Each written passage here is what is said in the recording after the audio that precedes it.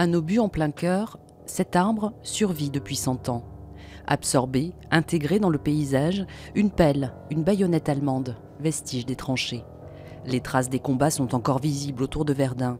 Jacques Grison les scrute, les photographie, comme autant d'échos à la souffrance des hommes, à l'image d'une simple chaussure de soldat.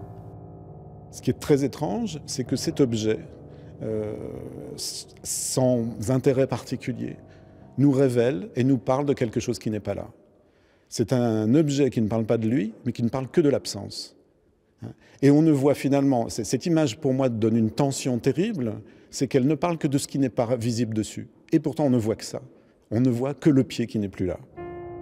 Des histoires, des émotions qui se livrent à qui veut bien prendre le temps de les écouter.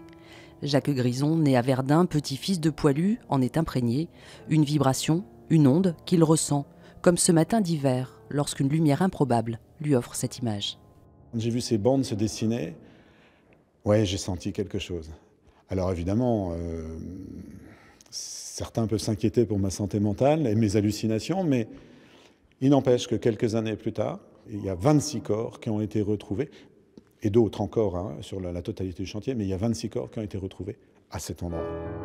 Une émotion, un ressenti que Jacques Grison partage à travers ses photographies. Plus qu'un regard d'historien, un regard sensible porté sur Verdun.